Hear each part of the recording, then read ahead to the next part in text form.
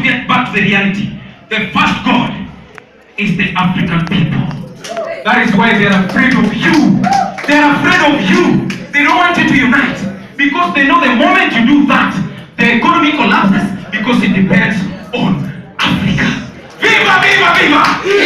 Ya mwisho nikimaliza wenzangu, nitasema sijui Kiswahili, lakini Kiswahili ni lugha yetu.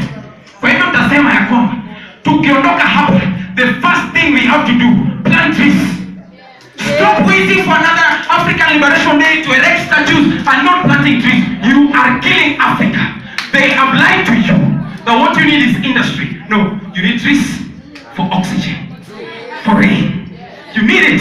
The second thing, never sell your mineral to a white person thinking that you need the paper.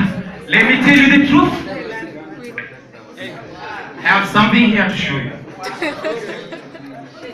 What is this? Look at this. If I tear this today, it is useless. But give me my gold, and I will show you how beautiful I can make my home.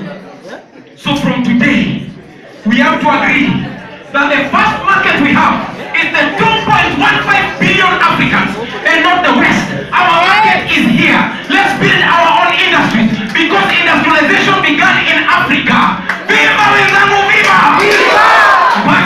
unyakue ardhi yetu. Asante sana.